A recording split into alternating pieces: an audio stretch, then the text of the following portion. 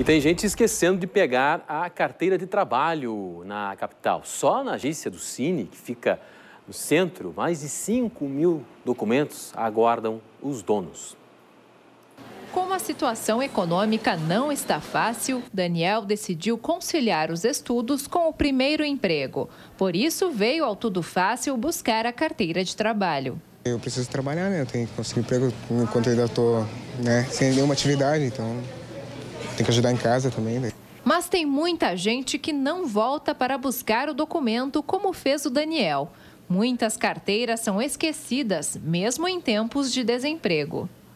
Aqui na agência da Borges de Medeiros, no centro de Porto Alegre, 5 mil carteiras estão guardadas em armários, esperando serem retiradas.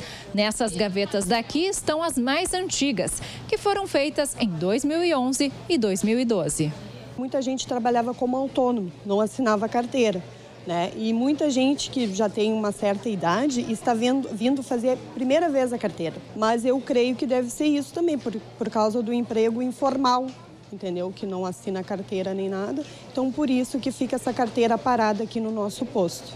Quem encaminhou o documento deve comparecer à agência correspondente com o protocolo e a carteira de identidade para fazer a retirada.